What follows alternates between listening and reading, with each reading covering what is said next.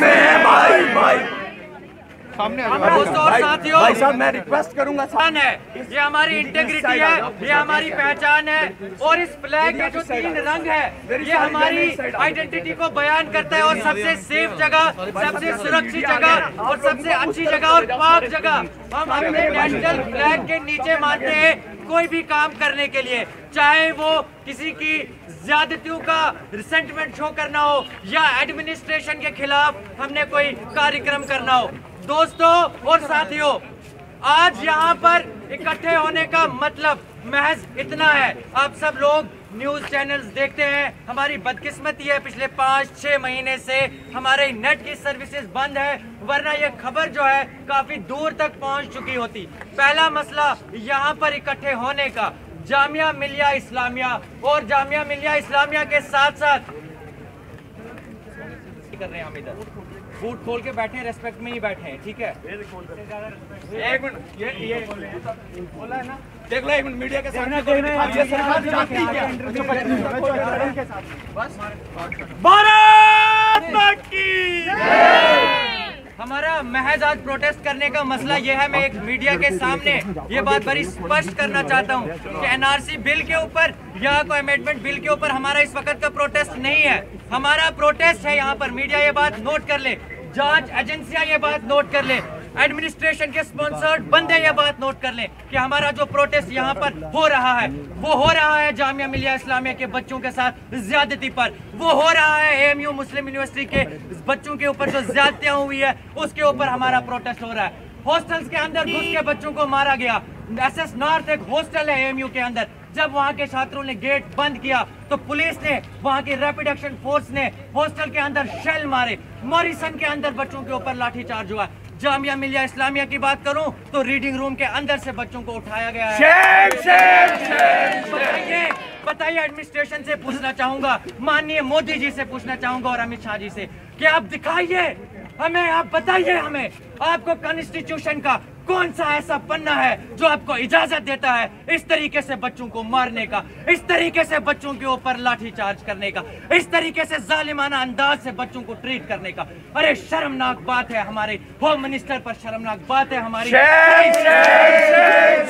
Minister को चाहिए और हमारे होम मिनिस्टर को सबसे पहले चाहिए कि वो रिजाइन करे अपनी कुर्सी से। अरे ये आपकी नाकाबली है ये आपकी इनएफिशिएंसी है।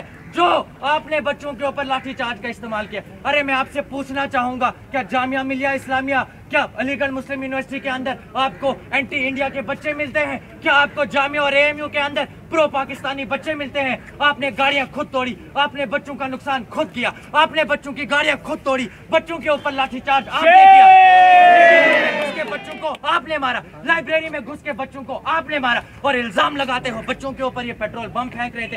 अरे, रात के 10 बजे बच्चा कौन सा पेट्रोल पंप लाइब्रेरी में बना रहा है? अरे, आप बताइए हमें एएमयू की लाइब्रेरी के अंदर 10 बजे कौन सा बच्चा, कौन सा स्कॉलर जो है पेट्रोल पंप पेट्रोल पंप बना रहा है और वहाँ के एडमिनिस्ट्रेशन के ऊपर मारे। अरे, बहुत शर्मनाक की बात, शर्म की बात है।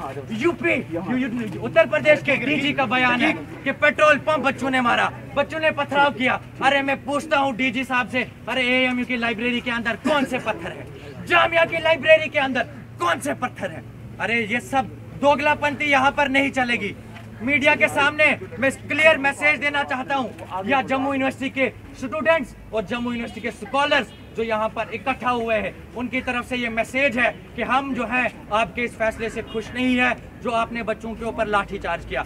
एक कमेटी बिठाई जाए और जाँच पड़ताल हो कि बच्चों के ऊपर लाठीचार्ज क्यों हुआ है? और रही बात सिटीजनशिप अमेंडमेंट बिल की तो वो बात का मसला है वो सुप्रीम कोर्ट का मसला है। वो सुप्रीम कोर्ट देखेगी और सरकार देखेगी। सरकार देखेगी। सरकार देखेगी। स्टूडेंट स्टूडेंट इशू पे बात हो रही है बोलो। अगर सीएबी का नाम लो और इन्हीं लफ्जों के साथ हमारा यहाँ पर किसी के साथ भिड़ने का कोई इंटेंशन नहीं है। आप सब लोगों से मैं रिक्वेस्ट करता हूँ और आप सब लोगों से मैं अपील करता हूँ कि अपने हिंदू मुस्लिम के साथ के भाईचारे को बना कर रखे। शुक्रिया। और लोगों को मैं एक चीज़ और क्लियर कर दूँ कि हम लोग यहाँ पे छात्रों के लिए आए हैं छात्र हित की बात करने के लिए आए हैं कोई हिंदू मुस्लिम करने की बात नहीं आई ही। हम लोग वो बात करते हैं हम उस संविधान में विश्वास करते हैं जो कहता है की we the people of India having हम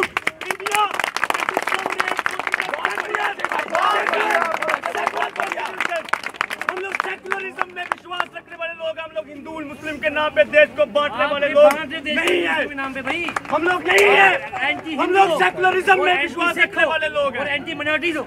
और आपका ये प्रोटेस्ट बिल्कुल एंटी हिंदू प्रोटेस्ट है। चलो बहुत बहुत और ये यूसी के अंदर बर्दाश्त नहीं किया जाएगा साथ खड़े हम सीएबी के पक्ष में खड़े हैं। और जब यूनिवर्सिटी का ये सीएबी के खिलाफ नहीं है भाइयों नहीं है। इसका इसका कोई विरोध जो है वो यूनिवर्सिटी के अंदर नहीं है। लोग ये एंटी नेशनल लोग हैं। जो सीएबी का विरोध कर रहे हैं। भाई हेलो ये हिंदू किसको बोल रहे हो एंटी नेशनल आप आप किसको एंटी नेशनल बोल रहे हो? आप एंटी नेशनल किसको बोल रहे हो?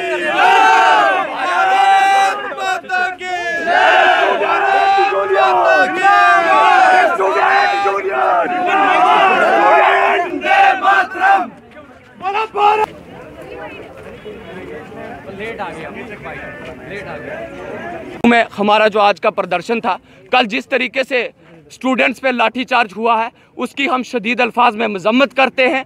और पुलिस ने जिस तरीके से दिल्ली में खुद खुद गाड़ियाँ चलाई, निहत्ते स्टूडेंट्स पे लाठीचार्ज किया, उसकी शदीद अल्फाज में मजम्मत करते हैं। और साफ़ शब्दों में एक ही चीज़ कहते हैं कि होम मिनिस्टर को नैतिक के तौर पे रिज़ाइन कर देना चाहिए, उन्हें कोई हक नहीं बनता कि वो इस देश के होम मिनिस्टर बने रहें।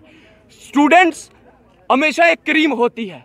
मैं आप मीडिया के साथियों को बताना चाहता हूँ कि अगर एक स्टूडेंट लाइब्रेरी में तालीम हासिल करता है तो अगर आप वहाँ जाके गोली चलाओगे तो इसका मतलब आप स्टूडेंट्स को उकसा रहे हो, आप स्टूडेंट्स को भड़का रहे हो। और फिर जिस तरीके से वीडियोस मीडियाज में आई हैं और मीडियाज में चली हैं कि पुलिस ने खुद गाड़ियाँ जलाई हैं, ये बहुत शर्मनाक बात है। और एक ही बात हम लोग कहते हैं कि जम्मू यूनिवर्सिटी का स्टूडेंट जम्मू यूनिवर्सिटी का स्कॉलर और जम्मू यूनिवर्सिटी में हर कम्युनिटी का स्टूडेंट जो है वो उनके साथ है।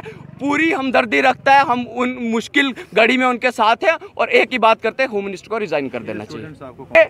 मैं आपको एक बात साफ़ कहता हूँ। मेरे साथ ये अंकुश जी हैं, ये ला स्कूल से हैं, ये हिंदू कम्युनिटी से हैं। मेरे साथ अक्षय शर्मा जी हैं, ये ब्राह्मण कम्युनिटी से हैं, ये हिंदू कम्युनिटी से हैं। ये शील कुमार हैं, ये भगत हैं, ये हिंदू कम्युनिटी से हैं। मैं रकीक खान हूँ, मैं मुस्लिम कम्युनिटी से हूँ। ये मशकूर जी हैं, ये मुस्लिम कम्युनिटी से हैं। ये हमारे इरफान भाई हैं, ये गुजर कम्युनिटी से हमने ज़ात, मज़हब, बलादरी के नाम पर सियासत नहीं की। हमने कभी भी इस देश में बांटने का काम नहीं किया। हमने जम्मू यूनिवर्सिटी को हमेशा जम्मू वर्सेस कश्मीर नहीं होने दिया।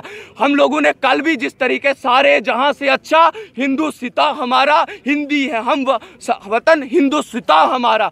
इस तिरंगे के कातिल इस देश में आप बेहतर जानते हो कि वो कौन है। वो उनकी डिक्टेटरशिप उनकी सरकार ये जानबूझ के करवा रही है कि जम्मू यूनिवर्सिटी का माहौल खराब हो और जम्मू यूनिवर्सिटी का समझदार स्टूडेंट जम्मू यूनिवर्सिटी का स्कॉलर कभी भी जम्मू यूनिवर्सिटी का माहौल खराब नहीं होने देगा।